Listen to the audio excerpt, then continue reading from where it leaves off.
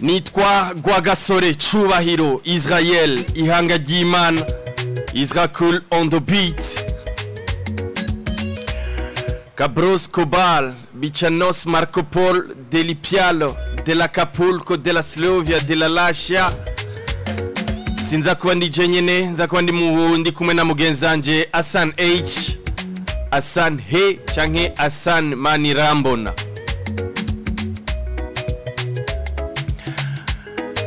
ni rinda nikita ari ku mwikonje y'akazi mugihe mugenzi wacu amipro ari mu bindi bikorwa by'akazi ndakwibutse yuko uno munsi tuza kuba turi kumwe n'abaririmbyi batandukanye. Turaza kugaruka ku makuru avugwa ku karanga. Uno munsi hari ibirori bitegekanije. Trupa magaba nyuma yo gutwara ikamba nk'abavuzi b'ingoma canke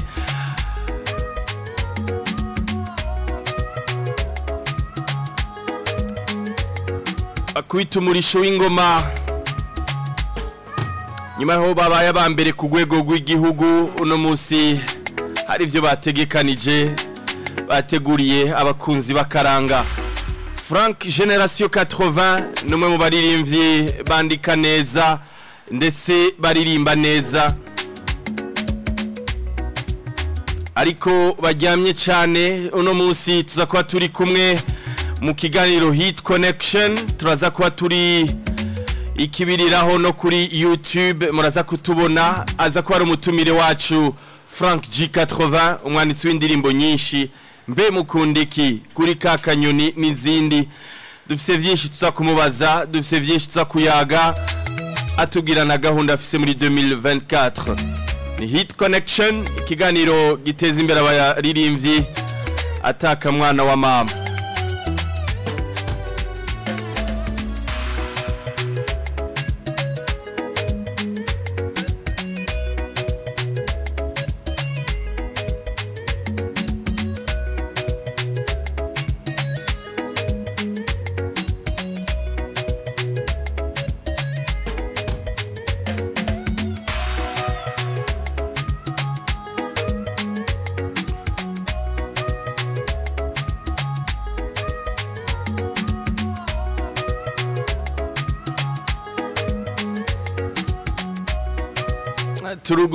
Umurongo kuri mirongo itandatu na rimwe cumi cumi ubusa ubusa abakunzi ba hit connection baduha ikaze na karibu muri kino kiganiro cyo kuri uno wa gatanu. Ikiganiro kirangiza indwi ya kabiri y'uno mwaka wa 2024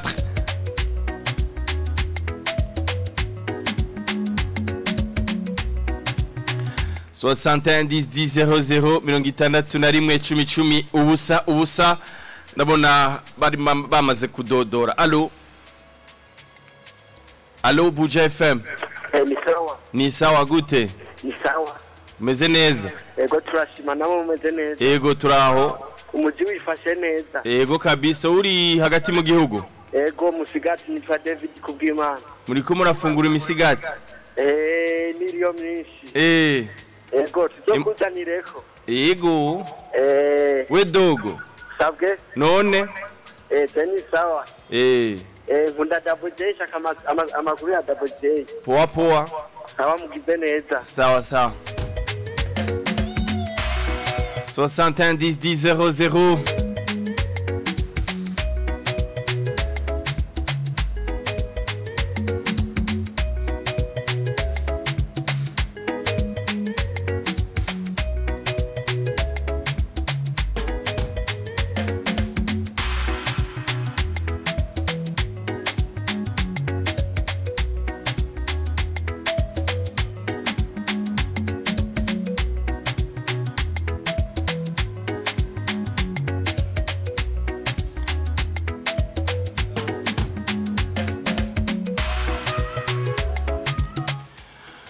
buja fm mahoro mzee.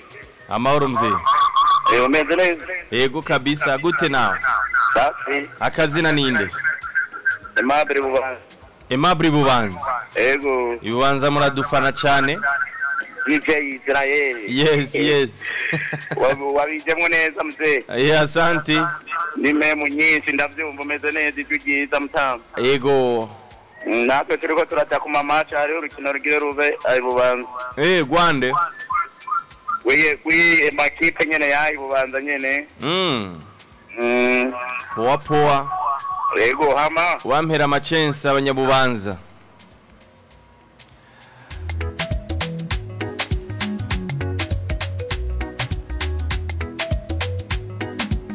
alo buja fm Alo, Buja FM. sa Ndakura amahoro cyane Ndagara kumugoboka. kumugoboka ni he Akari muri mutanga ah. Yego. kumugoboka ndahabona kabisa yego vrem Eh hama karibu sana. eh Niko ndabira makuru ya wonderful boys wonderful boys. Yes. safi sana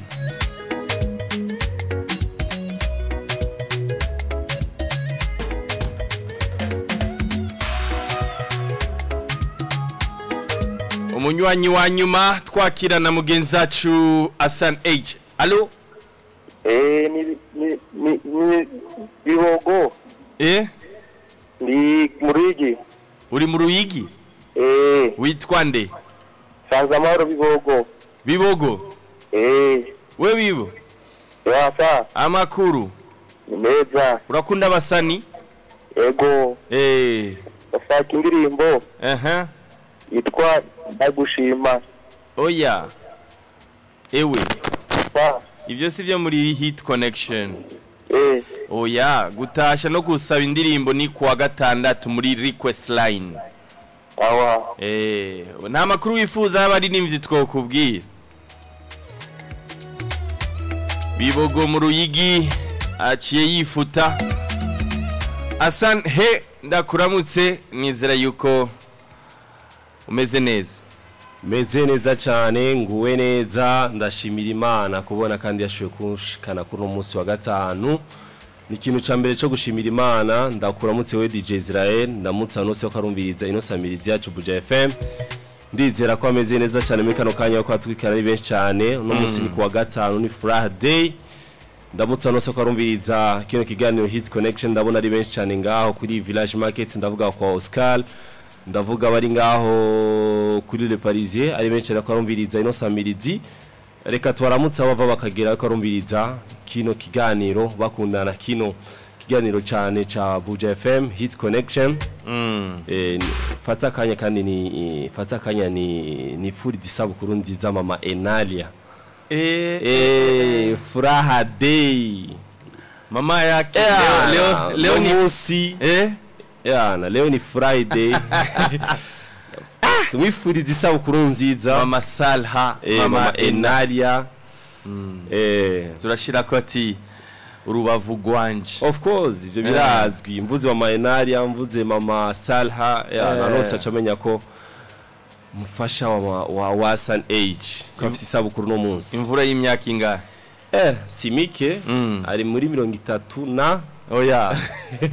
Eh. eh mwagize neza kugira mariage karena Eh nivyo vyiza o- ugize ugize urubanza hakiri kare n'Imana ibiguma babahezagira kabisa. Ebana mama enalia tumwifurize isabukuru nziza. Ya ya ya. Eno musi nihembega Eh, umwaka uheze. None mu mwaka uraheze gasi? Eh mwaka igihe uraheze twari hahandi hariya. Eh. eh mutama pona gacha akora akazi eh? Hari n'umuntu munenye nzikiye K Back nyanziki mm, ngo kakanya tari muri P Club. Eh. Umwaka urarangiye. Oya vraiment oya reka reka tari kumwe na batantine 6 rya munsi n'abakeke N'abakeke. ba bubu. Eh. DJ Paul era tumushimire. Nuno musaje musaze mateka gukora amateka. Nese vendredi no no. Si si vendredi no. weekend. Weekend. ari ariko dutangura kwanza ku mashuri eh. Eh ku mashuri Kushigikira. tukikira amagaba dukikire Eh. DJ Israel. Kabisa. Eh bana tukitoka pale after P Club pale kwa DJ Paul. kabisa. Ya no musi rero turahumiwe turagowe turaza kuryoherwa cyane dutambe tujye tunywe. Mama mama mama mama mama mama mama mama umviriza rero asane yeah. Nta ka dress code. Ah, code n'aka- twabana. style nyene kari gasanzwe tuka. No musozi ko ari weekend muno afise style yari yose gusa aze kwitamo gusa aberewe. Eh. Tumushikire na DJ Israel hariya ku mashuri. Kabisa. Eh. akaririmbo reka ndakamuture. Mama enalia ndamwifuriza isabukuru nziza. N'akaririmbo dutanguriye kino kiganiro hit connection mu ntumbero yuko twomira amate gatonya kugira ngo na mama enalia tumufashe kunezerwa. Tubuludika duhi- duhinyanyura gutya anye. Na kano karirimbo gashasha dutuye abantu mwese mufite n'amasabukuru abakunzi ba hit connection. Mwamaze gushira agashinge k'inyakira amajuzanyo kuri 87.6 ni DJ Israel hamwe na Hassan H wa Mama Ena. Twende kazi.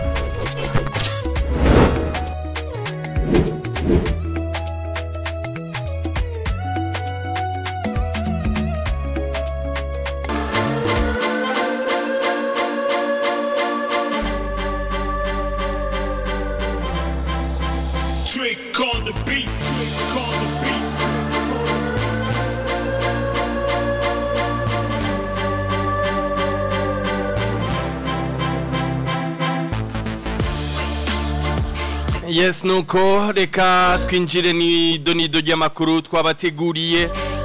Mu kiganiro hit connection turi live no kuri ku rubuga rwacu rwa youtube buja fm turabe turabe turabe urabe ukungene tutagase. Ama image ni meza cyane ama image akeye.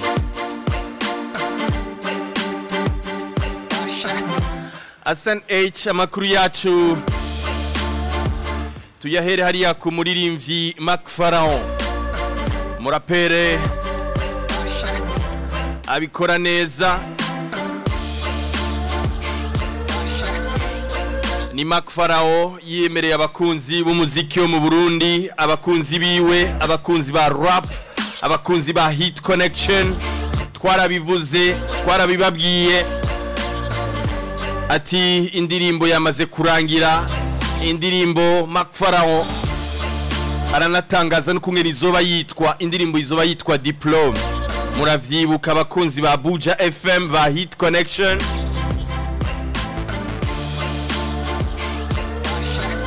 Gushika ino saha gushika uno munsi gushika buri uno mwaka wa 2024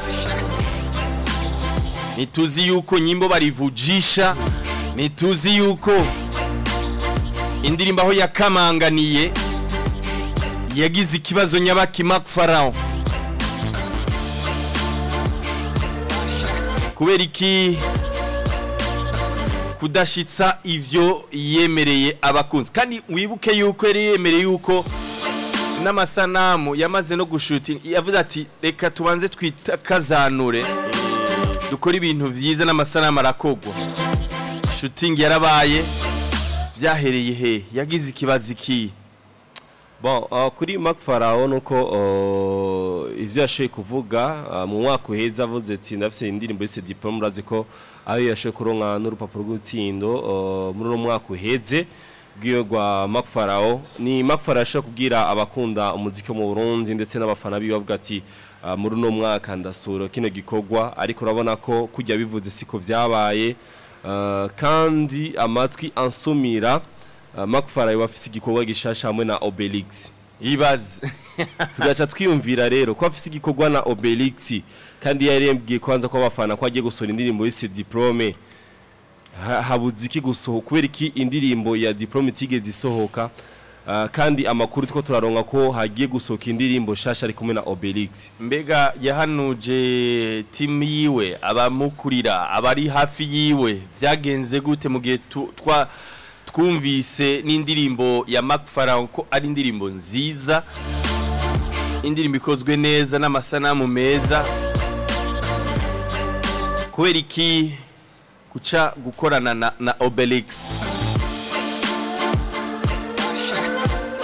Asan H adufasha kumurondera Mark kugira ngo ashobore gutanga umuco muri Hit Connection kuri Buja FM indirimbo diplome igeze hehe kubera iki gukorana na Obelix. Indirimbo bari kumwe na Obelix. Mbega nizo kitangura nizo giye gusubirira diplome. Bimeze gute? Ku murongo wa telefone twamaze kumuronka Mark yego uratwumva basha ndabumva neza n'ukuri. Turakuramukije mu bwami bw'isamirizi Buja FM kiganiro Hit Connection. Uramutsa n'abariko baratwumviriza ndetse uramutsa na mugenzanje Asan H turi kumwe. Ah, ntanguye kuramutsa hasani h. ndamugumbiriye ndamwifuriza umwaka mushasha nawe wenyene israel ah, team hit connection ndabaramukije ego. Ah, nongera ndamutsa n'abakunzi ah, b'isamirizi boja fm biciye mu kiganiro hit connection ah, supporting abanyamuziki ah, na- n'abanyabuhinga muri rusange bose ndabaramukije ego. Twaramutse tukurondera abakunzi ba Hit Connection abakunzi ba Buja FM twarababwiye yuko tura amakuru yo kwizegwa yuko indirimbo washize ahabona kava yuko igiye gusohoka indirimbo yitwa Diplome ariko gushika ino saha Yeah. baracayitwishuza abakunzi ba Mark Pharaon abakunzi ba Hit Connection. Ati yoba yayaza amasigara cicaro kubera iki yabesha abakunzi b'umuziki wo mu Burundi? Vyahereye hirya ndirimbo barayivye bimeze gute? Yego oh, ndabashimira ah, kuma aka kanya kugira ngo nsigure kino kintu kuko ndonka message nyinshi indirimbo barayinyishyuza cyane. Ah, rero nari nalansije yuko hari indirimbo yitwa diplome ngiye gusohora hari mu mwaka uheze mu mpera z'umwaka.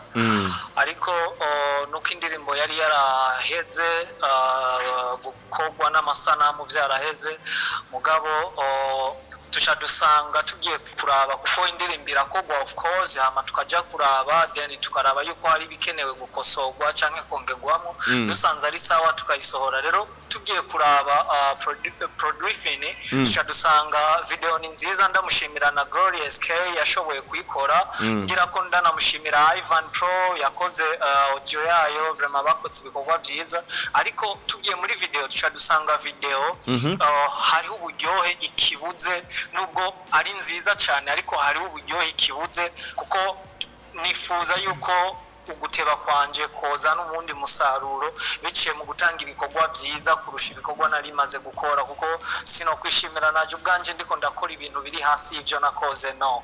Rero dushaka dufata gahunda yo gusubira muri location gusubira gushutinga izindi image. Ivyo rero byarakozwe bira- birahera. Ama tuca turaba gahunda yacu uh, tuca tubona neza yuko indirimbo ishobora gusohoka muri uyu mwaka w'ibihumbi bibiri na mirongo ibiri na kane mu ntango. Ariko rero kubera ko deja nari namaze kujya muri studio na obelix kandi indirimbo twakoranye na obelix yari porogaramu yuko ishobora ariyo ishobora gusohoka muri uku kwezi kwa mbere. Bica bisaba neza yuko iyo ndirimbo aba ariyo twirukako cyane kuko niyo yari kuri gahunda yo gutangura umwaka. Rero ubu turi turiko turaraba ko mu ndwi ikurikira iyo ndirimbo ah, ishobora kuboneka. Ah, timu turiko turakorana mu gihe izokwitanga ah, ikayiheza kare. Kuko twe twarahejeje kujya muri studio ndanamushimira Ivan Pro yayikoze. Ariko turacyarindiriye turabe yuko n'amasanamu ashobora kuboneka. Hama muri iyo ndwi bishobotse indirimbo tuce tuyiragura then diplome tuce tuyigira next project izokurikira iyo ndirimbo twakoranye na obelix. Ah. indirimbo muri kumwe na obelix.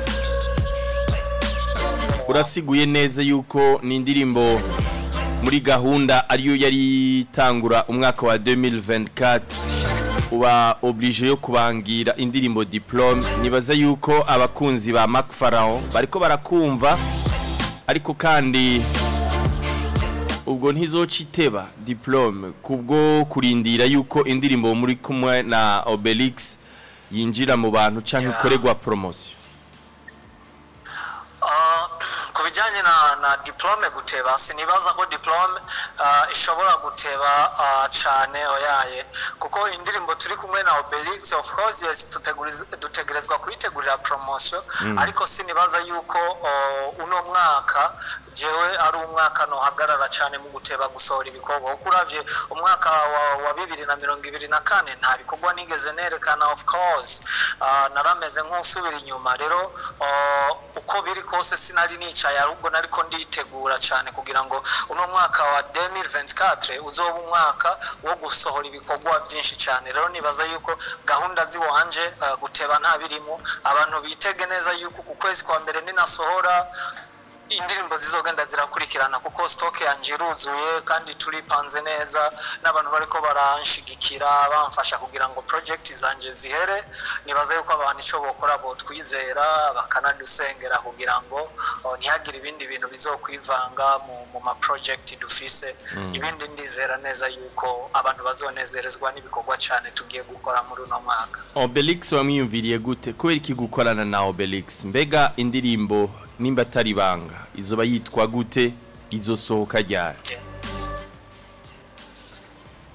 Ah, kwiyumvira obelix eh, urazizi je obelix n'umuntu kuva kuva 2000 2016 ah, buja fm eh, igitangura ndavyibuka.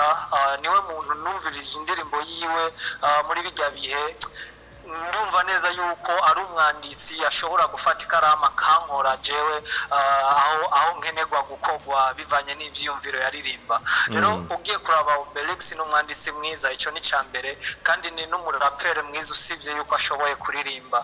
Icyo ni ikindi cya kabiri. Rero byo ndishimira ibikorwa byiwe rero guhiga umuntu wishimira ah, kugira ngo mube connected cyangwa muhurire hamwe mu gikorwa biba ari ibintu byiza kuri jewe kuko umuntu sindamuhigira ikintu kintu runaka gitandukanye ah, no kuba ashoboye ah, ibyo ashobora gukora byotuma nanjye mbona neza yuko proje yanjye itoba proje ntonya rero Belix ni umwanditsi mwiza ni umuririmbyi mwiza ni umurapere mwiza ibyo byonyine byaratumye mba interested nawe. Ikindi na cyo oh, ni n'inshuti urumva ni wa muntu ah, dushobora kuba turi hafi cyane rero biroroshe cyane kugira ngo tuganire ah, tugire icyo dukoze turi kumwe nawe so nuko. Eh, um, indirimbo izoba yitwa inama of course nta nta banga ririmo indirimbo izoba yitwa inama. Inama. Ego inama. Henyo. Inama nyene inama ego inama. Eh hama soka ryari? Tuyirindire ryari? Ni mu kwa kabiri canke mu kwa gatatu no icyo jewe ngiye niyemeje ngaha kandi nkazokirenga ko muzonce n'amande. Eh. mu ndwi itangura ishobora gusohoka. Uko biri kose izosohoka ariko sindamenya ko izosohokana amasanamu cyangwa ko izobanza gusohoka audio. Mm. ariko icyo nzi cyo mu ndwi itangura indirimbo murayihabwa muratangura kuyivuza. Kandi izoba ari indirimbo nziza inama by Mark Farao featuring Obelix. Yeah of course inama mu ndwi itangura uko biri kose abantu. Youtube yanje nijya ni nyene Mark Pharaoh ni official ni ho tuzoyaploadinga then abantu bavibing hip hop nziza inyandiko nziza uko biri kose nibaza yuko ntibazoncisha mu ijisho cyangwa ngo baducishe mu ijisho. Yes reka tugushimire cyane ku byerekeye diplome tuzokubaza tuzogerageza kukurondera kandi kugira ngo tumenye eh, nimba ari diplome ya licence canke ya humanité. Ariko tube turi turi focusinga gatonya kuri inama. Igiye gusohoka next week indirimbo ya Mark ari kumwe na Obelix. Twizere yuko utazotugwisha hasi. Nkuko vyama Mark yamaduha ibintu bimeze neza ibintu bigororotse. Surtout ho uri kumwe n'umwanditsi akaze. Heyeyeyeye Obelix iyo ndirimbo nanje nubwanje narishimiye ah, kuba twarahuriye hamwe narishimiye nuzenya ah, ukungene twagize development y'amajambo kugira ngo abantu nibumviriza indirimbo bazokumve neza yuko ari inama iriko irakogwa canke ari inama iriko iragirwa abantu runaka. So ico rero vraiment je ndacishimira kandi ndibaza yuko n'abantu bazobona neza yuko kwicara tutariko turagaragara cyane bitavuze yuko tutaba turiko turakora ahubwo tuba turiko turatekereza ikintu kinini twokora kugira ngo tubashimishe. Reka tugukengurukire cyane tugushimire Farao kubona wemeye kudutiza uno mwanya gutanga umuco. Eh, nanjye ndabashimire team hit connection n'ikiganiro cyanyu ah, na buja fm muri rusange mubandanye mukora ibikora inka mushigikira n'abandi murakoze cyane. Asante.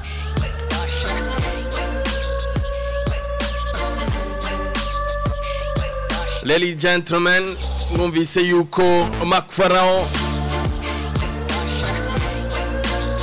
agiye kubanza kubangira indirimbo yitwa Diplome. Imvo mwayumvise. Agiye gusura indirimbo inama bari kumwe na Obelix Nkunzimana Aubin abangaho mu Nyakabiga ya gatatu ku gicumi na rimwe. Mark yemeye izuba riva imbere y'abakunzi muziki yo mu Burundi. Yuko mu itangura indirimbo igiye kuja habona ati muzonanca amande ninabirengako. Bon, uh, Mark Farao aje kuvuga byinshi cyane kuvyerekeye nyene uh, indirimbo ya mbere nyene bitakunze ko ishobora gusohora uh, canke yashoboye kurushira ku rubuga rwe rwa YouTube mwumvise ko audio isa nk'iyarangiye. Hanyuma kuvyerekeye video nawe urumva ko hari utuntu tumwe tumwe tugoranye nico gituma indirimbo itigeze isohoka mu mwaka uheze. Ariko akubwira ati tari dufise programme no gukorana indirimbo no mwaka wa 2024 n'umuririmbyi Obelix. Uh, kandi indirimbo itanguza kurangi kutangudana umwaka twashoboye kuririmbana na muririmbyi Obelix. Nico gituma rero irya ndirimbo ndi jenyene nashoboye kuririmba yitwa uh, diplome nico gituma sinigeze uh, shobora kuyisohora kubera izo mvo. Ariko reka mfata akanya kwanza ashobore gusohora ino ndirimbo uh, nakoranye n'uno muririmbyi Obelix kubera ni programme twashoboye gushira muri calendrier muri 2024 nico gituma akubwira ati reka nsore kwanza iyo ndirimbo. Twakoranye kwanza na Obelix hanyuma eh, iyo ndirimbo yiwanje ndi jenyene nise diplome ndibaza ko nayone uh, muzoyironka vuba. Ndibaza ko rero ibikorwa vya Mark Farao mumvise ko agiye gusohora indirimbo nyinshi cyane ndetse urumva ko hari n'imigambi myinshi cyane igiye gukorwa muri no mwaka wa 2024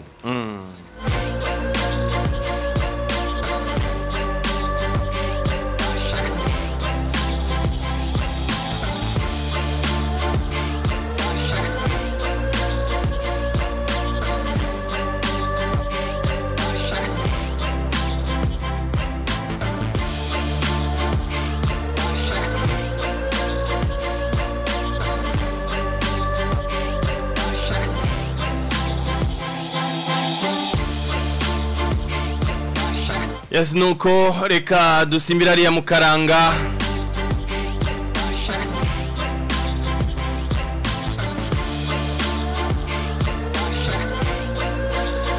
Dusangeho uno mugwi uh, trupa magaba no musi bafise ibirori bidasanzwe. Nyuma yo gutahukana ikamba gutahukana urugori gutahukana nimero ya mbere mu karanga mu mugwi wigenjeje neza mu ku mu kuvuza ingoma. Umugwi trupa amagaba watumiye abakunzi biwe abakunzi ba amagaba abakunzi bakaranga yuko boza kwenjoyinga hamwe n'uno mugwi. Muco bise intsinzi party celebration. Biza kuba bimeze neza cyane bibera ngaho ku mashuha umugwi trupa amagaba nukuri uriteguye bidasanzwe. Bon, uriteguye bidasanzwe urana ko ino trupe amagaba nakunze kino kintu Zen ndetse nako arumviriza kino kiganiro Hits Connection. Nukuri bagiye hasi bashavuga ati reka dushobore kwishimira itsinzi twaronse mu mwaka uheze dushobore kusangira n'abakunda trupe amagaba. Ndetse dushobore gusangira n'abashoboye kudufasha kugira ibintu byose bigende neza cyane nico gituma bahise bavuga ati Uh, reka dushobore gushimira murazi ko batahukanye ubushimye bwinshi cyane yaba ngaha mu gisagara ca Bujumbura kuvuza neza muri show y'ingoma yaba hagati ruguru naragitega murazi ko nabone bashe gutahukana agashimwe ka mbere.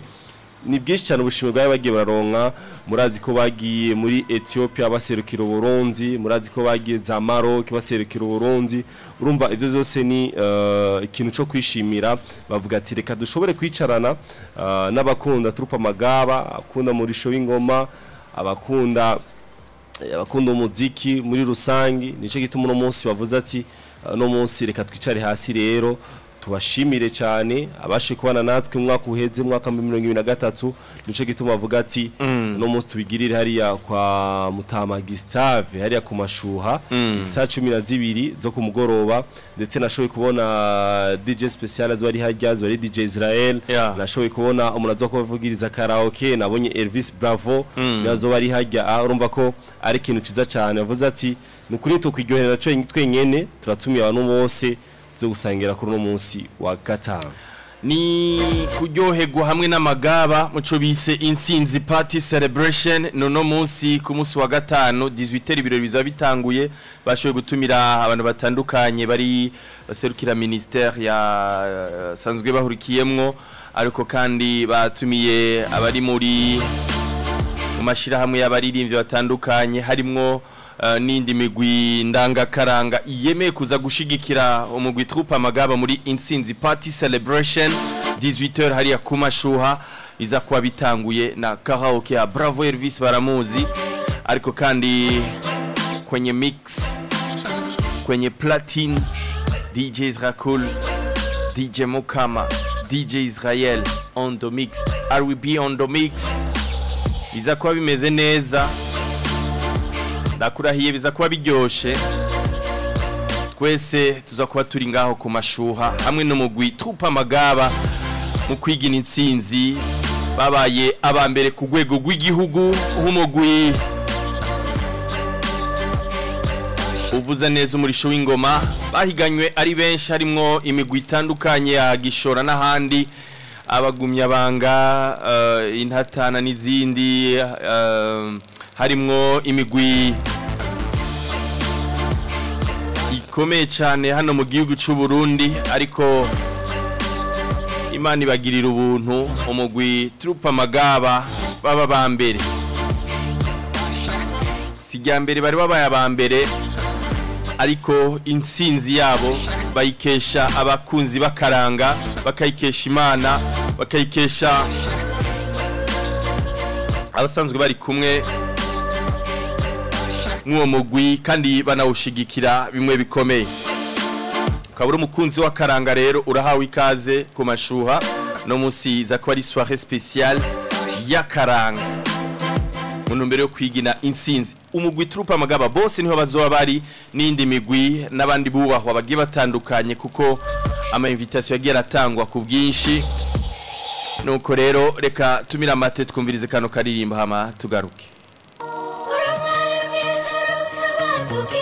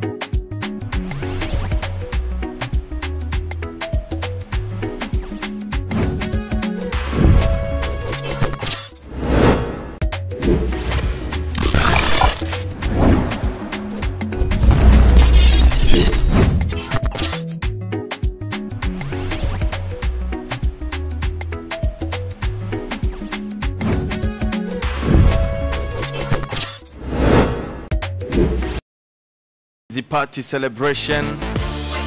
Yo Troupe Amagaba ni ku mashuha. Tuza kuba turi kumwe na Bravo Elvis muri karaoke. Tuza kuba turi kumwe DJ Israel Ondomix bimeze neza. Ndakurahiye biza kuba bitovye biza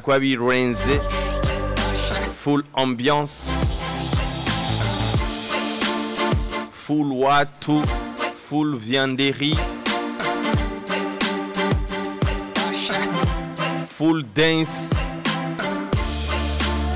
Hano kuruze kuza kuvyirabira kwinjira ni kwa gusa. Pompon hassan tusimbire amakuru yacu hariya kwa satura amabafure n'amabuye. Indirimbo igeze ku bice bishimishije indirimbo ya satbi bari kumwe na lino g. ni indirimbo bariko barashiramwo inguvu nyinshi ni indirimbo bariko barayitondera bahinyanyura. Umwanditsi w'indirimbo legend lino g kuva muri wema entertainment agiye gukorana n'umuririmbyi akomeye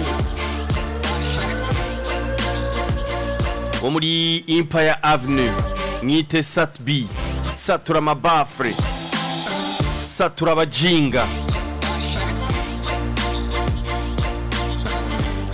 mwite umwami w'amahiti agiye gukorana na nouvelle generation linoji linoji ati ni umuririmbyi yubaha ni umuririmbyi yivugira make ni umuririmbyi ahanuza abakuru. Mu gihe abandi baririmbyi bakicaruka canke nouvelle generation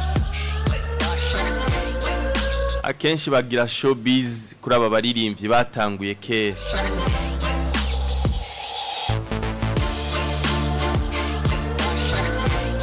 Bimwe bishingirwa intahe na satbi ati linoji n'umuririmbyi yubaha n'umuririmbyi aha respe bakuru bamutanguriye kandi n'umuririmbyi ubona yuko aba ashaka kwiga umwanya n'umwanya.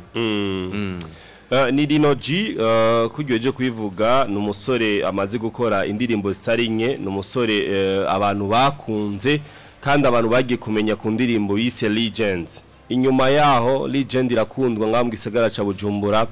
Uh, murazi ko yari umutumire ngambwe kiganiro Hits Connection hanyuma aca sabwa n'abaririmbyi bagenzi biwe. Aho ndavuga the floor ndavuga DJ Phil Bites ndavuga ndavuga Big Face on the floor. Niyo bashe gukora remix uh, ino ndirimbo uh, Legend ni indirimbo yakunzwe cyane yaba ngambwe isagara ca Bujumbura canke hanze y'igihugu urana ko abantu bayakiriye neza cyane.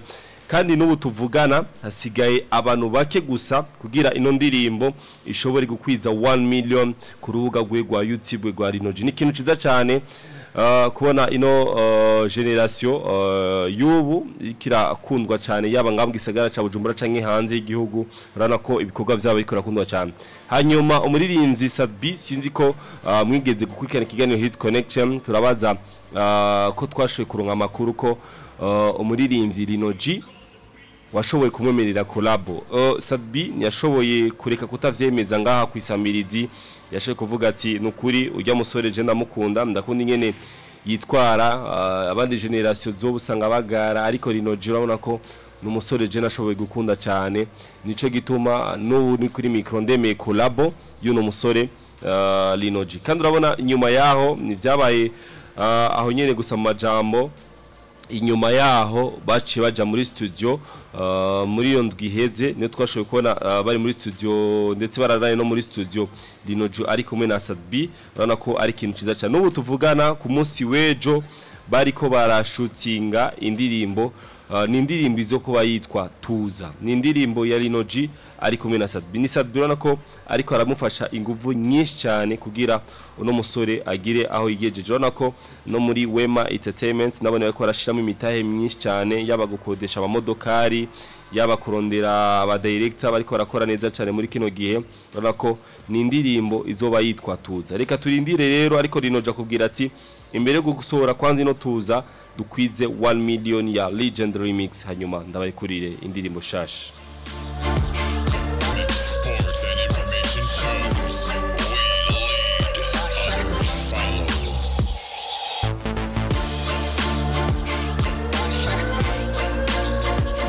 Bujumbura, Kinshasa, Kigali, Kampala, Nairobi, Dar es Salaam, East Africa. This is your radio, Buja FM.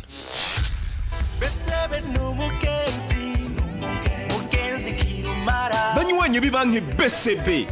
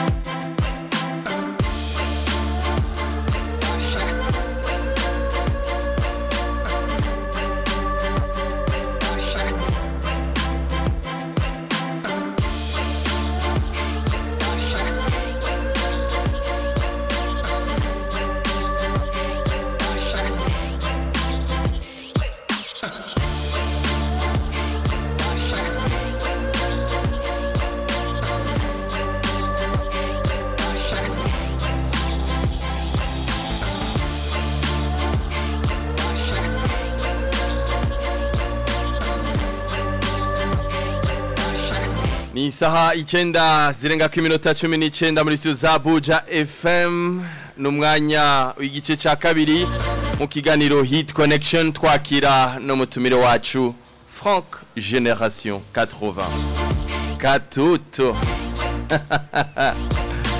turi kumwe hano mu bwami bw'isamirizi buja fm mwaramudusavye muri benshi mwari mumukumbuye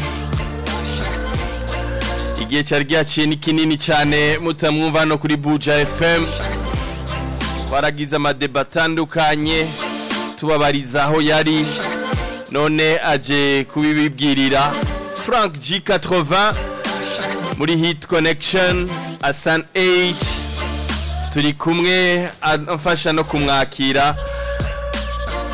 Orly Gatol Frank Joseph. Yitwa frank generation 80 benshi twaje kumumenya ku ndirimbo yise katoto ari kumwe na dj pro ari kumwe na mukombozi. Uh, ni frank generation 80 twaje kumukunda cyane ku ndirimbo yise mukundiki muravyibuka araciye imyaka cumi n'umwe. Iyo ndirimbo isohose yarasohoye indirimbo uh, ari kumwe na yuya jaman murayizi. Ni indirimbo yakunzwe kenshi cyane. Yarasohoye indirimbo yise mm, indirimbo yise indirimbo yise kuri bona yari lo 23 nibagiye yari muri 2022 indirimbo yise haleluya uh, ni indirimbo uhibdimiwe ni indirimbo yasohoye haraciye uh, umwaka urenga iyo ndirimbo isohose na byo ko yashoboye gusohora indirimbo ko na na na na na yo ya indirimbo yise kuri kakanyoni yasohoye indirimbo zitari nyenya cyane yarakuranye kurabo n'abaririmbyi bo ngamu gicu Burundi yarandikiye n'abaririmbyi bo ngamu gisagara ca Bujumbura indirimbo zitari nyenya cyane. Benshi cyane bari maze iminsi kuko tubaza mbe Frank Generation 80 yagiye hehe? Turashaka mu tuzanire mu kiganiro Hit Connection kuri uwo munsi wa gatanu ndetse akaba tuzanye n'igikorwa gishasha ndetse binadukundiye turasaba DJ Israel um, aze kwivuza iyo ndirimbo shasha ari kumwe na yari ari kumwe na J ni indirimbo imeze neza cyane. Uh, turaza gufata kandi akanya tuganire na Frank Generation 80 tuziganira byinshi cyane kuvyerekeye ibikorwa yasohoye. Nta kuntu twobanza gushimira imana kuri uno mwaka yamutuzigamiye frank generation 80 iratuzigama muri 2023 n'uno mwaka tutanguye impunda marembe. Dushobore gushimira imana n'ino ndirimbo yiwe uyimidiwe indirimbo nziza cyane tumwakira neza yikora no mu gahogo.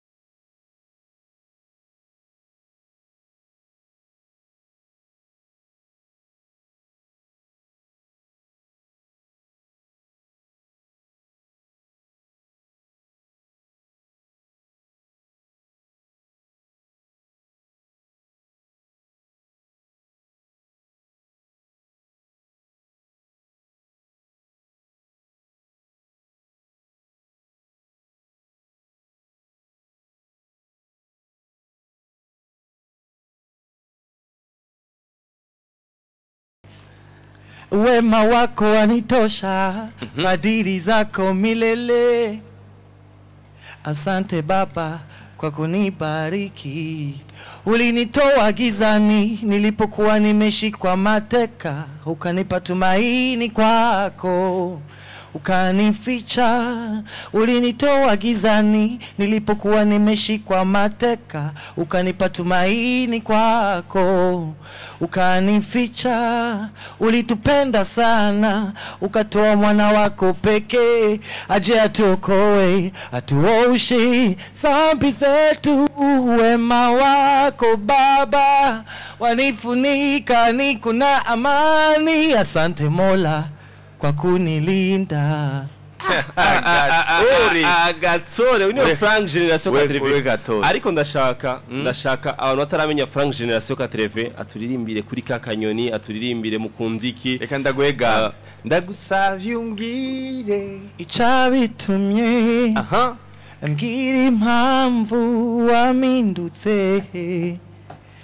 Mbwira ubuhinga ubuye kuca nari mfise mishuka ntibizosubire kunshikira no ku bandi bakobwa mbe mukundiki cya kabiri cya gitero cya kabiri igiti cyo gukora mu jisho rimwe kabiri cyo rimena unyibutse gute ko wari waranyanse ngukurikiye amatara iwanje ntihabona none waronse icyo wagiye urondera be mukobwa ibyo ni ibiki uteke mu nda oya twara utamena uribuka ya ndirimbo ya refro waririmba na Moses Brown.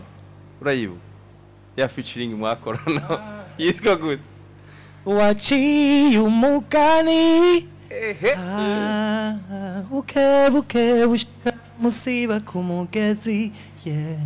Kandi witonze hamira ibinoze yeah, yeah, yeah. urukundo rwacu rwohera no babara.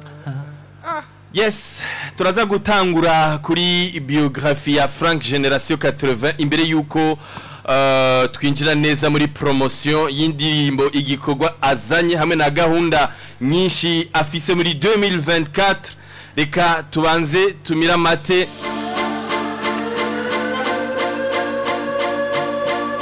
tumuhani ikaze Frank Generation 80 kumbure hariho ama generation yavutse muri 2006 2007 2005 2004 kumbure Frank Generation 80 baba batamuzi ninde Bon, je nitwa wabivuze Gatore Frank Auri Joseph nkavuka mu muryango w'abana batatu. Nkaba mfise sigaranye umuvyeyi umwe mama ego. Watanguye music hari ryari? Bon natanguye music muri 2000 euh, umunsi wa mbere nja muri studio ndavyibuka ari muri 2007 2007 Yeah. Mhm. twari tukiririmba tukiri batatu. Ni rya groupe yitwa Generation 80 Yarimwo, Oh, uh, Papi hamwe na Maxime. Maxime nanje Frank. Ntibakiri ngaha mu gihugu c'u Burundi bara- baravoyaje gato ni Maxime mbe yageze he? Ari muri Amerika. Mhm. Papi. Grace. Mhm. Hama bica bigenda Bon. urugendo rubandanya gute ego turakora imiziki twakoze haciye igihe baragenda je nanje sinacitse intege Mm. cangumana n'umuproducer yadukorera yitwa Amiri nawe aramfata mu mugongo nguma nkora indirimbo Mm. haragera igihe ndakora indirimbo yitwa Katoto je nibaza ko ariyo yaratumye menyekana cane ngaha mu Burundi Mm. wayiririmbye gute na Mukombozi na DJ, Pro, DJ Pro refre yavuga gute bon ni, ni, ntukiyibuka ndayibuka mugani yake ntacyo koresha ubwenge Minafurahi sana nikikaona kalapita kale katoto kale katoto. Kale kale katoto kale kagize mariage. Sindamuherutse eh. yo ubu no mu sindamakuru mama yiwe mfise. eh. Aha. Bon irya ndirimbo niyo yatumye menyekana hama ndasubira ndakora iyindi ndirimbo yitwa mbe mukundiki ho bica biramenyekana Cyane. Ndibuka no mu Rwanda nasanze babizi Mm. ndamenyana n'abantu benshi sana Kubera twagushika irya no ndirimbo. munsi nimba Mm. nkiri kuri ku nzira yo ku- bintu by'imiziki niko irya ndirimbo gushika n'ubu Mm. Mukundi. n'ibintu byose nkunda gukora ahantu nkunda kuja kudodora ba- bamenya ko irya ndirimbo sinahagaritse ndabandanya Kuri 2000, ka kanyoni. eh, 2000 2014 kuri ka kanyoni nyene barayikunda ego kariyeri yanje bimeze nk'itanguye bitangura kuba ubuseye ndagira ibiteramo narakoranye na- amakermese yose nibaza ko mu Burundi guhera ebana je kermesse. natembereye Burundi bwose kwera mukundiki ndirimbo. Eh, bon indirimbo nakoze zari zitatu zaratumye ntembera Burundi bwose. Mm. yari mukundiki yari katoto mukundiki mukundiki kuri ka cyangwa tukanaramenye uburundi bwose kubera izo ndirimbo ndamenyana n'abantu b'abashefu benshi sana ndaja ku mashuri yose presque amashuri yose ngaho mu gisagara ca Bujumbura. Ndibuka umu DJ wanje yari DJ Israel ndavyibuka tukiri batoya nyene tucirondeza Mm. sico kimwe nk'ubu nta marezo sosiyo yari ahari ico gihe urumva ko twakora cane vyasaba Yego, ibintu mm. kuja muri studio kuja gutigita kwitangira umuziki kurondera clip aba ari we wisopa ata muntu umwe agucanze umva twavuye kure vraiment nivyo hama 2014 fin ya 2014 mengo niyo nace ntangura nace nja kwishuri eh 2015 kiragera naza ndaza mu mavakanse gusa ni ho vyace bimera nk'ibihagarara music imera nk'uhagaritse kuko Mm, ni ishuri kandi na situation nga mu Burundi ntiyari imeze neza ndamera nk'uvyikawushije Mm. niyo nace mera nk'ugaruka muri 2019 ndakora indirimbo yitwa Marry You. Igiswi Marry You. Marry You, ya? Marry You Mm. ndayikora muga ko yari audio. Iterambere ryari ryatanguye kuza ata video ufise? Wamengo nturi umuririmbyi ngaha mu Burundi. Byari bitanguye kuza. Abanyagihugu barayikunda na yo nyene. Muga nta masanamu ifise iriko kuri YouTube yanje. Ego ndabandanya 2020 21 eh, ndakora indirimbo yitwa giswi Mm. yo isohoka n'amasanamu na yo nyene ndabona feedback nziza. Ego gushika n'ubu unye nkiriko indirimbo yise gateranya. Gateranya. Bon iziya ndirimbo zidafise ama video je ubunye mu mutwe wanje simara nko kumengo ari indirimbo. Mm. genre ama audio gusa. N'ubu ndiko ndaplanifya kuzi izo abafana banje baba baranyandikiye yuko bakunze ndiko ndaplanifya kuzikora ama clip. Ariko izo zose ni, ni, ni, ni, ni, ni, ni gahunda y'amaklipe wa- wa- wazipangira kandi bakagufata no mu mugongo n'ama kotisation akahaba byaca biherera he Bya- byaranobanurwa yuko frank bamubesha entourage yiwe fait iyo turiko iyo biye bintu vy'uguterereza kenshi ntibirama kenshi Mm. umuntu ashobora kwemerera ikintu kubera muhuriye ahantu muko muraryoherwa kubera amasantima kanaka akakwemerera ikintu hageze yuko mu- mugikora Mm. akagukwepa akazimya telefone canke akakwereka yuko umengo ivyo yavuze umengo ntivyari sewe nivyo ico gituma wabona kenshi bitaba. Mm. kenshi waba urimo muri izo group uravyibuka Mm. warabibona yuko hageze yuko dukora akazi vyaca bipfa. Mm. hama je ndatekana kuko imana ikintu itarashaka nikiba murabizi mwese. Ikintu imana itagishatse nikiba. Naho muba ufise ubwo buryo hari igihe mubikora nabi. Mm. ndatekana bon kubera na- imana nayo narayisaba ati urabona focus yanje ko ndiko ndafocusinga muri ibintu by'imiziki vy'imiziki. Mm. ndakeneye umunsi umwe nanje uzontezurire nduhuke mu mutwe. Nze ndakora video bitangoye Mm. niyumvira indirimbo gukora video binyorohera Mm. imana je mbona umengo irishura na yo nyene pole pole gahunda ya frank generation 80 irahungabana bivanye na entourage yiwe maxime papi dj teo manjuga pompon igete team yacu Eh, ntiba- ntibaba hafi ya frank generation 80 bisaba yuko upambana ugaruka n'uwundi muryango n'inguvu nshasha abagenzi bashasha. Byaciye bigenda gute? Ibyo bari mu byatumye frank generation 80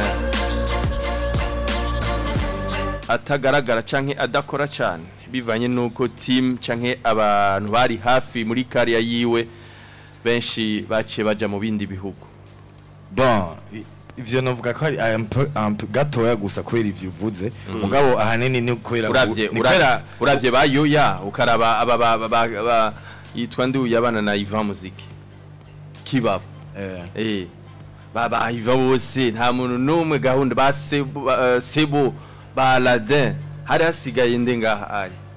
Bon ni je nawe? Je gerageje kwiyumvira. Timu yose fait je narabonye ikintu kimwe Israel. Bi- ubwo umurindira ibintu by'abantu bagufasha je nibaza yuko ntibirama. Mm. ico gihe sinari bwaronke akajob gatoya nisumamo Mm, bon sinakorana na Amiri cyane je nkorana na Amiri Ubu. je ubunye ndashobora gukora ibintu by'iwanje nkirira clip. Eh. Ata muntu n'umwe avuga ze Jeje nyene. dodora Eh, barashobora umuntu akakongerereza mugabo d'une part nka nka 4% nka 5 nka 95% akaba ari wewe bakagufasha nka 5% yonyene Mm. urumva? Urindira ibintu bagufasha vraiment ukora ibintu bikeya nico gituma biranateba urabibona mm. nico navuga. Ahanini nico? Yes none ubunye umuziki ukukora gute nivyo urafise akajob urafise revenu uronka ibyo bihumbi icumi. Uraheze ukabikora gute abantu bari hafi yawe muri kariya yawe gahunda nta- ipanze gute nta muntu 2024? yifasha ibintu byose. N'ubundi nawe batogufasha byose uguma ukeneye abantu Mm. Eh, fait ikintu kikunda kugorana je kuri je ahanini ikintu gikunda kungora ni video. Kubera audio mfise aba presque aba producteur bose turakorana kuri Amiri One Way eh, aba producer bose ba- uba bakaze ngaha bose ndafise access yo kuja muri studio yabo. Mm. video nikunda kugorana. Fait maze kubona ko video ari igorana. Avant ko nkora indirimbo maze guplanisha video. Arondera ati niba uri buri indirimbo ushaka gukora ishobora gutwara amafaranga yawe nkaca mba ndarondera bien avant ntushobora kureka gukenera abantu bagufasha bien sûr. Eh, ariko none ko ufise ayo ma connection ga Frank muri Bantu Boy wari ufise access yo kwinjira gukora indirimbo muri MA kwa Mugisha Amir. Nabo baragusaba amafaranga canke muri Bantu Boy bigenda gute ko ibikorwa biba bike canke n'ivyandi uvuga ati nta nka gusora audio. Eh bon ivyo ugerageje kuraba n'ama audio nk'izo buzi zonyene zitarasohoka zirashika nka 30 mfise ama audio angana nko kuri 60 nafashe ama audio ndayasimplify ndayagira make. Ndafata nyinshi ndazigira ndafata indirimbo nyinshi mfise ndazindura muri nkeya zibe nkeya. Urabibona? Nawe mfise audio nyinshi kuko mfise ama audio chaque studio ninjiramo nkoramo indirimbo. Mfise ama audio menshi. Kandi audio ubunye nta soko igira. None iyo ndirimbo ndaje yahereye he? Nubu ko na produit yari yaheze. Irahari.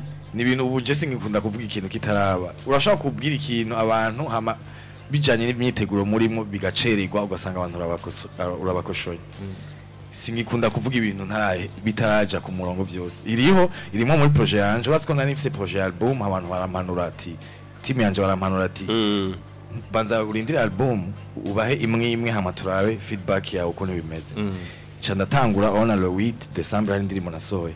Kandi je muri strategie yanje uraza no mu gutangura music nahereye kuri collab muravyibuka gatoto yego, Gatoto. amasubira gwanje niyo niyo ya strategie ndashaka gukoresha ishaka kumera nka kurya nyene.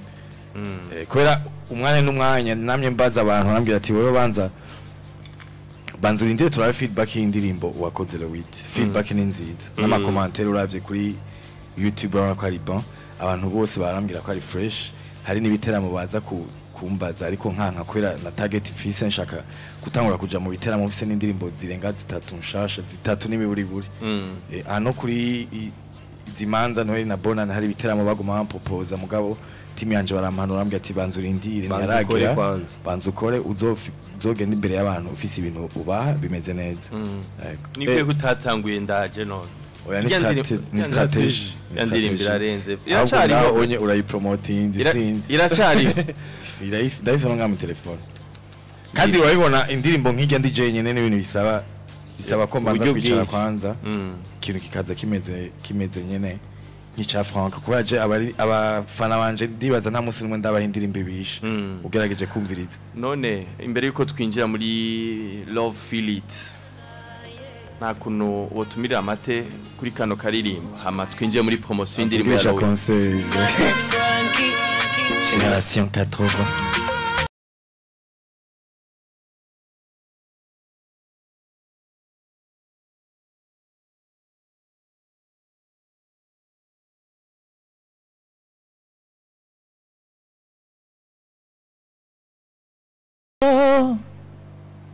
wowe usitse jenatsi conzize ma baby ibuka. Agateranye yamyeho bibananiye kubaka izabo badusambutse badusubize kwisuka hamwe bo nta nosara norara ndota ibisitsi imwe bije kundya Je ne pense qu'à toi, mon amour, ma bien-aimée. Ne m'abandonnez pas, mon amour, ma chérie. Don't let me down please mama. Don't let me down. Yes nuko reka dufilinge tugire promotion ihagije indirimbo ya Frank Generation 80 ari kumwe na Double J hamwe na Anko. Indirimbo yitwa Love Feel connection to feeling neza. Mutega amatwi ino ndirimbo. Mwumvirize ingene yanditswe beat melody mwumvirize n'ubuhinga bakoresheje mu guhinyanyura amajwi. Twagiye twagiye Frank indirimbo yiwe nshasha. Ifise n'amasaha. Jya kuri youtube irahari. Frank generation 80 official. Uraba amasanamu ugire commentaire uze no kuyipostinga n'abagenzi bawe bashoboye kuyisharinga. Ni indirimbo nziza nziza nziza cyane. Iyi ni hit connection ni buja fm muri kumwe na dj israel hamwe na asan h. Umutumire ni frank g 80 katoto.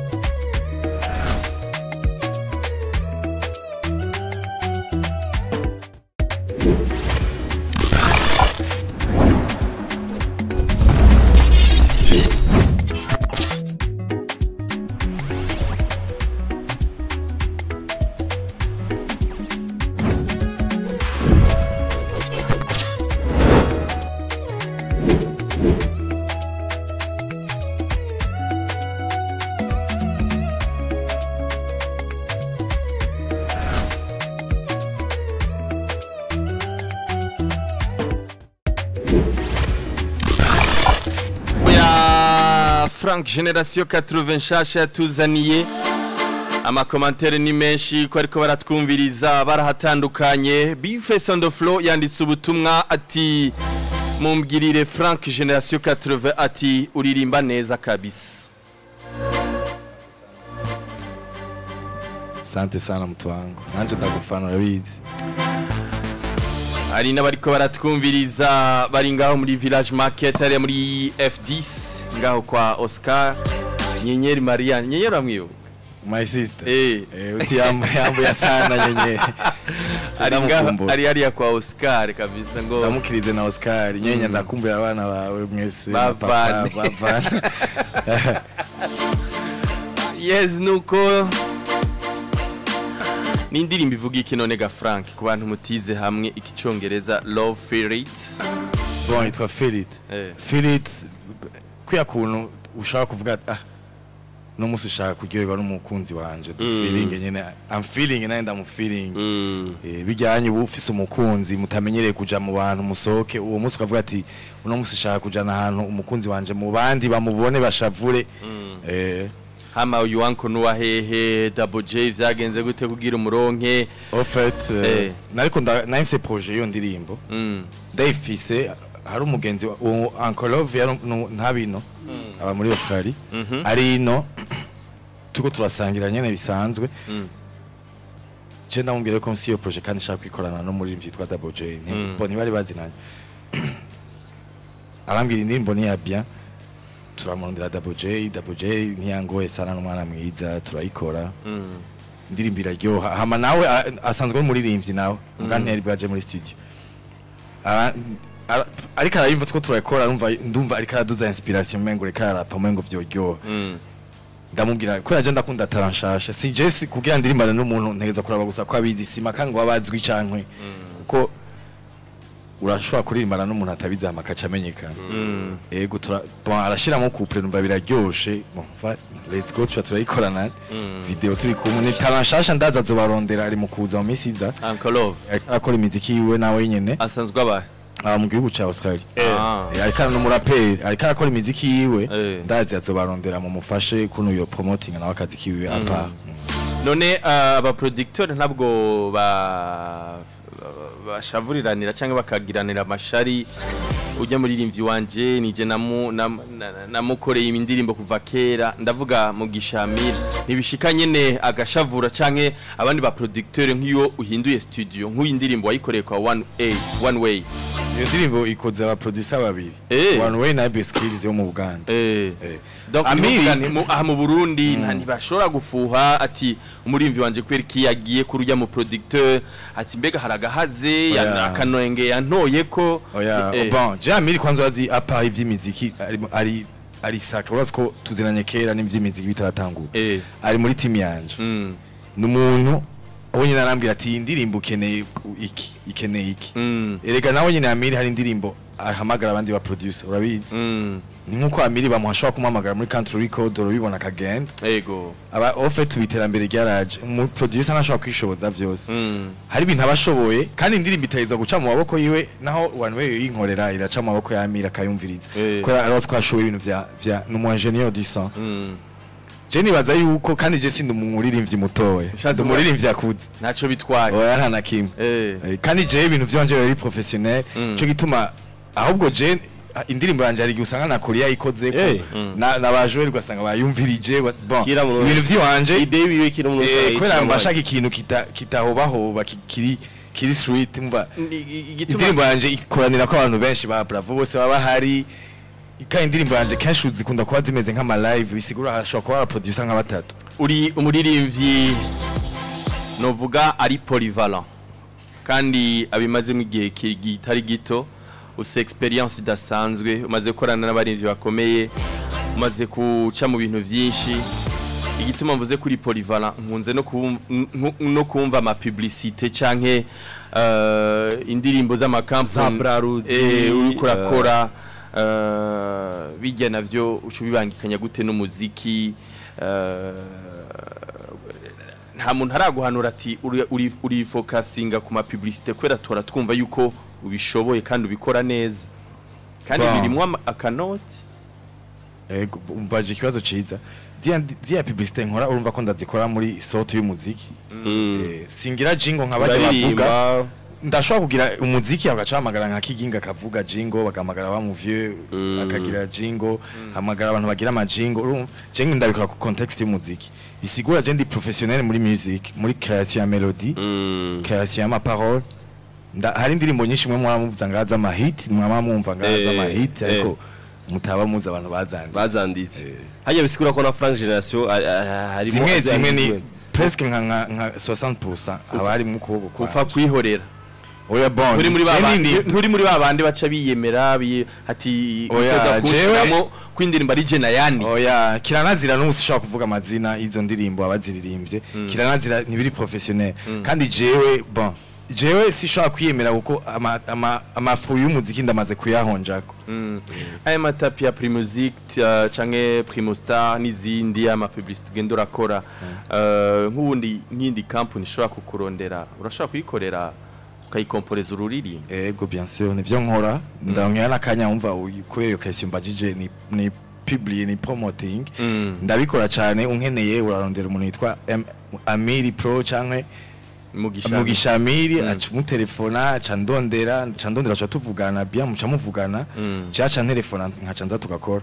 Kampuni iyo ariyo yose ibyo byose baba bashaka gupublier ndabishobora ku intambamyi eh, Frank Generation 80 ahura muri kariyare yiwe ni ya? N'ubu ndabisubiyemo. Kugira ngo naba bantu barabavuga ati Frank n'umunebwe Frank araryamye cyane. Niwase no kubivuga. Ivyo barakunda kubivuga barakunda kubivuga. Mugabo kenshi no kwihenda kuko kenshi naho imiziki itabiri kirasohoka mba ndi muri studio. Urubibona Israel? Naho ntaba nasohoye umuziki usanga mvuye ku ma- ku madiri yanje mba ndi muri studio. Bisigura haba hari ibikorwa byinshi ndasubiyemo ndabivuge ubu ndi live. Ni ubwa mbere ngize emission live nga Eh, voilà twende. Bon umuziki hariho umuziki kwanza ku- ku- kwiyumvira ukiri muhira. Urashobora kuwiyumvira. Hariho kupanga kujana muri studio. Aho tuba twinjiye muri Dep- ama ma dépense dépense Mm. ugiye muri studio. Je miziki nkora. Si miziki bon je hari miziki nkora numva y'aba jeune ngaha kumva ko muri studio atigeze ateba n'isaha imwe. Baramukore beat cararirimba nkenera live music nkenera ibintu byinshi ivyo audio kwanza ivyo vyo biba vyarakemutse imana ishimwe. Biranyorohera. Ndafise abagenzi benshi. Video Israel.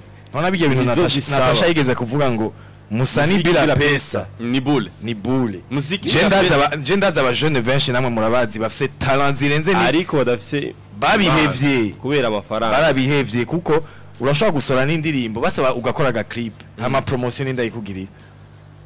Ko nabo abo bantu bawugira promotion babesheje ubona umuziki.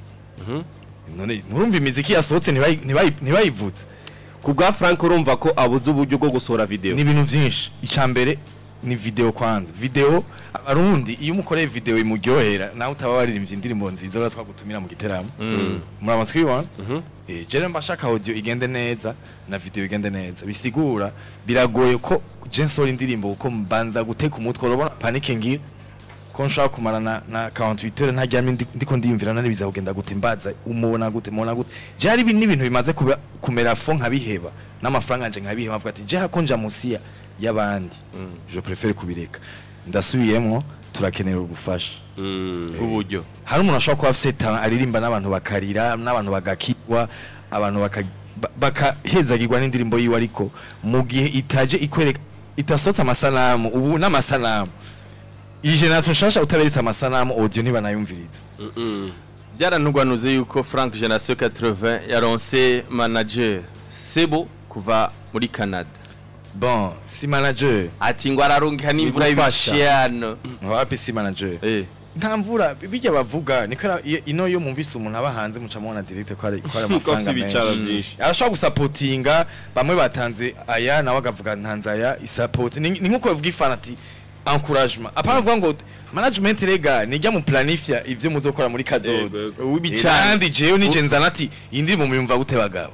Bagaca bavuga ati dukore iki? Dukore gutya? Nandi si ukuvuga ngo ngo du zero au dernier ngo ni ngo ashobora kugufasha. Nega nawe aba afise ibindi bintu si si contre ni bimwe vy'ubujama nk'uko asana uri umujama wanje. Ushobora kuvuga ati Frank ndaguterereye 20000 uzokongereza muri ivyo bintu uriko urakora. Ikindi kibazo bigeze kutubaza ati Frank Generation 80 afise entourage mbi abagenzi bamukoresha amakosa bakamutwara mu bintu byinshi ariko kandi ngo utimutse nta terambere mu muziki ni cyo gituma waciye wimuka urava mu nyakabiga Bo barakunda kubivuga ivyo bintu mugabo je nibaza yuko ata muntu yo influence umuntu atari we ya- yabigiyemo abishaka. Ahantu naba naba ahantu muri mu- ahantu haba abantu benshi. Mm. Urabona uba mu ikati nka Nyakabiga haba abantu benshi. Eh. Sasa je ndi umuntu w'abantu. Je bazi ko gushika n'ubu nahata miziki nakora yuko nguma umengo mfise abafana benshi. Sinzi igituma kandi nanje ndi umuntu aciye ufise igikundiro.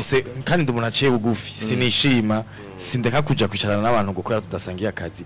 Ariko nk'ubu je natangura ikariye yanje.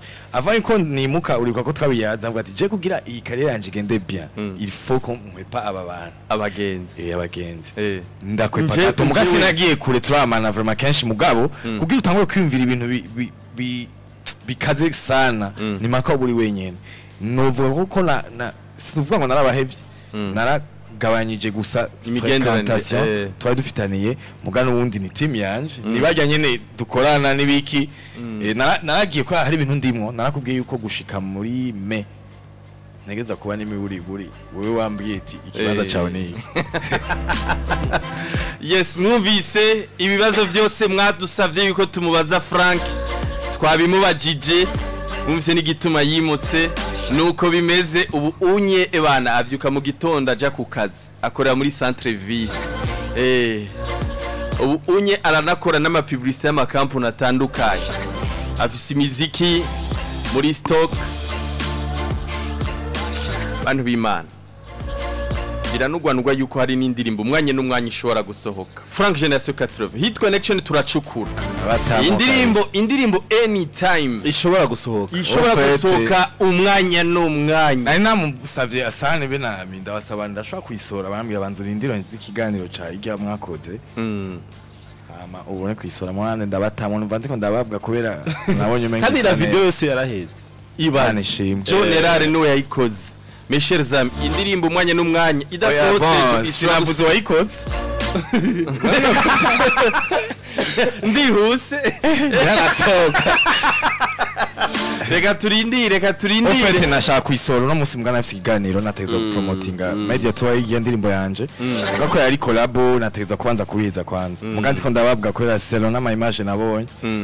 Ndabatamwe kabisa. 71 umuntu ariko aratwumviriza ashaka ku- kuinvestisa muri frank generation 80 yo bikora gute gusanga hehe eh, canke ubufasha frank akenera pour le moment n'ubwahe. Bon je n'ubu nyene nivyo nyene. Kubera iyo ndirimbo narayikoze kandi nayikoze muri ino misi ya uh, bonane na, sinigeze ndyoherwa bonane na noel jewe. Nari mu kazi. Bisigura n'ubu nyene ko mpejeje kuyikora inya ndiko ndondera gukora iyindi kuko ni indirimbo mfise zicaye.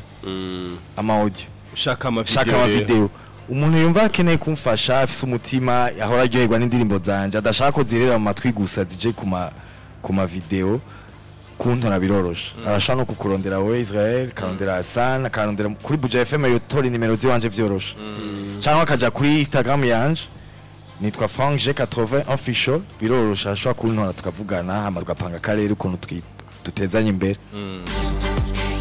Ansange barakomeye gicaniro baracariho Yeah, bariyo kandi ubu rero batanguye akazi k'ubusewe kuko uyu mwaka uheze urabona ko tutigeze dukora ubu twatanguye akazi bisigura ebana hasohotse ikintu minota cumi posti bishitse mu Burundi bwose. Ariko ku nkuru y'umubabaro yadushikiri ya- nayimenye uno munsi. nayimenye uno munsi vraiment Yeah. ariko condoléance kuri famille. Turi mu kiriyo ego. Turi mu kiriyo mu Imana ikora ivyayo natwe niyo tuja.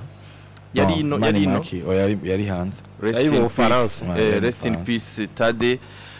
Imana ikwakire mu bwami bwayo. Abasigaye nabo bashishikare bihangana. Umwe mu bantu bafasha cyane ugwaruka bafasha aba jeune bafite amatalent. Turabuze umuntu. Iyo nkuru kandi yari ndayumvise umukangara urazi ko ari umu athlete akomeye nga mu Burundi. Eh. amaze gutwara ama medaille d'or yego vraiment yahora aba mu Bufaransa bon. Soit. Kandi asize abana bakiri bato abana batatu. Tubireke n'impamvu muzana ama emotion muri emisiyo yanje. Oh, pole sana.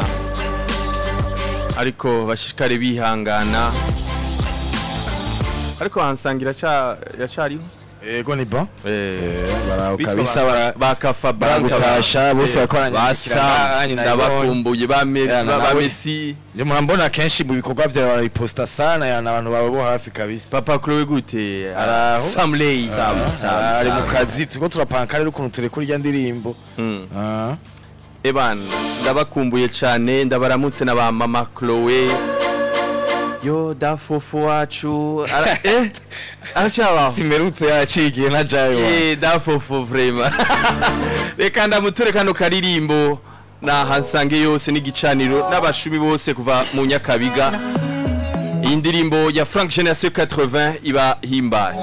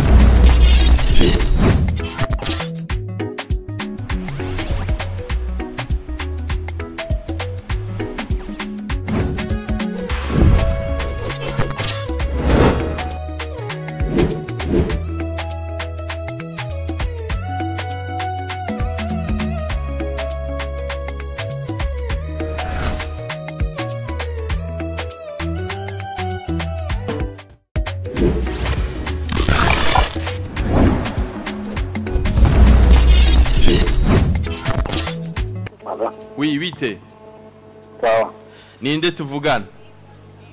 Hilali. Sa? Hilali. Eh. Umeze neza. Eh, ndaramukije Frank. Amahoro amahoro. Sama cyanyuka. Sindakubona ifoto. Wavuze ngo witwa mwaka mwana munyakabiga. Ah, Hilali oya sindakubona. Eh, kuri Urakomeye? cyane gose ndagukumbuye man. Umwami w'amasambusa. Uko uko akora nice. Eh. Ah, okay, ni bon sha. Urakomeye? Ndamaze neza numva ijwi wawe kwere. Twamutumiye wana ko Feelinga. Eh. Eh. None urisigaye ufite WhatsApp? Oya, ni kuri sanze. Ah, nagomba ndagurije kuri YouTube rero muga nta kundi. Komera. Eh, cumubwira ko tuzakura mu munsi umwe. Uraza homba? Eh, ndahazi. Sawa. Sawa. Eh. Azere kumubwira ba ba- bamwereka. Oya ba nice barahazi. Niba kiraya kuri Eh, none hajya nyene baba. Eh. Eba na 61 10 00 mirongo itandatu na rimwe cumi cumi ubusa ubusa ndabona umunywanyi ku muline alo Alo. wi eh, gute Sawa. nawe twakwira umunyakabiga Oya, jendi kumutangano. eh witwa nde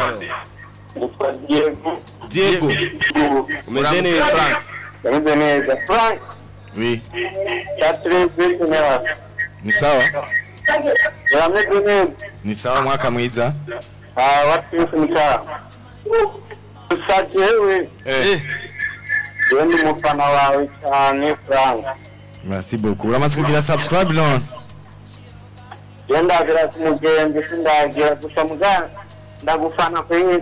Eh, merci beaucoup. Sharmani gweza gi. Yego nawe kabisa. Nija amufundiki.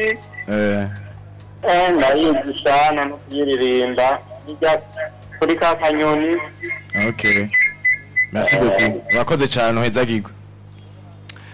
yes nuko mirongo itandatu na rimwe umunywanyi wa nyuma turangiza ikiganiro hajya frank ni muri septembre le 7 7 septembre 1988 88 niho yavuka Ah, eh, eh, eh, 35 ans.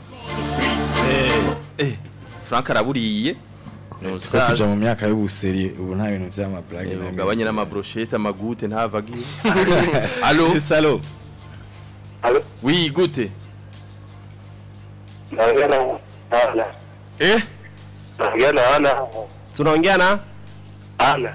ana Eh, unatupigia simu kiwa wapi eh, unatupigia simu kiwa wapi huko nchini Charama. Eh, wapi Charama. charama Sawa. charama mko fresh Eh? unahitaji kuongea na frank generation 80 sa ah connection connection imeze neza cyane ngo ari mu charama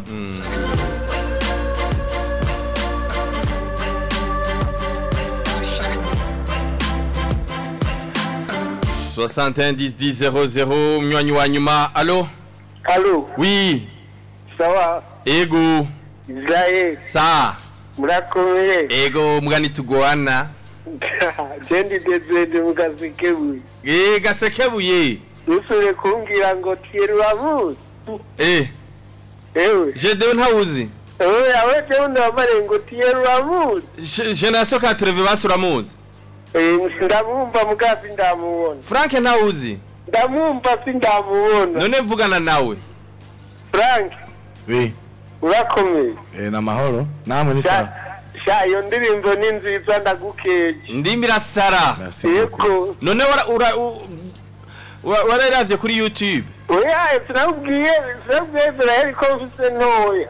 ah nawe ura- urasarisha kandi uravete ubu ntasha ntudushoboye turatasha tiyeri wenyine hama jedewe nawe nawe nyene sawa sawa yego okere umuzi mwiza popo waldezi sawa sawa frank none ikintu twibagiye kukubaza ni iki dukoresha ubwenge Bon. Euh, ntimwambajije feedback y'indirimbo. Eh yari imeze gute? Maze gutelefona n'ahantu hari bakeya bashika nk'ibihumbi nki- nka bitanu.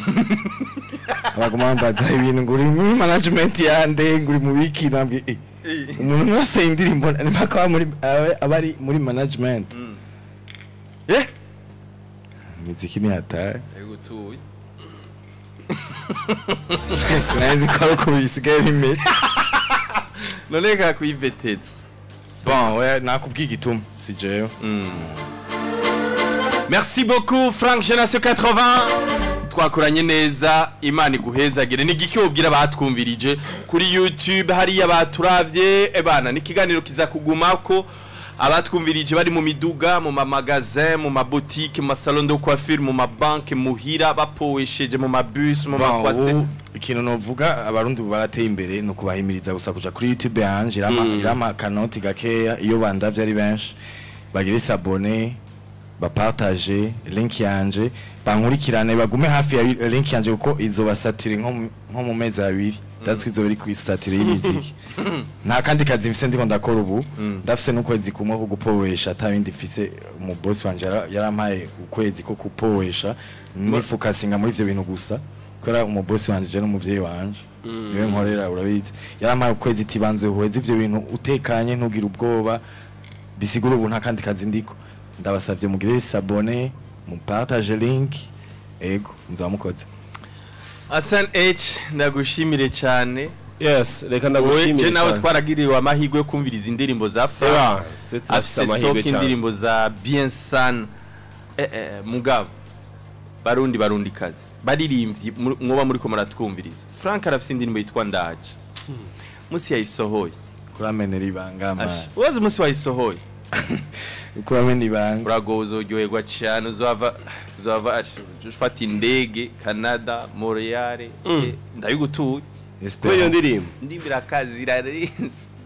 Rero nyine ndayumva n'ubwoba merci Hassan. Twakoranye asante neza sana asante sana frank generation 80 uh, nifurize weekend nziza abantu bose bakunda buja fm ndetse n'ikiganiro hit connection. Gahunda n'uno munsi bravo elvis uh, zari ko ari ku mashuha hari insinzi party celebration uh, ya uh, troupe amagaba dj israel nza kuba ndi kuri mix biza kubera hariya kuri ku mashuha hariya kwa Gustave. Ni amagaba batumiye imigwi ndangakaranga itandukanye. Uno munsi turago turaza kuryoherwa weekend. Twese abanyamuji abakunda karanga abakunda ambiance tuzakuba turi ku mashuha. Ni troupe amagaba bafise soirée yitwa ngo um, intsinzi party celebration.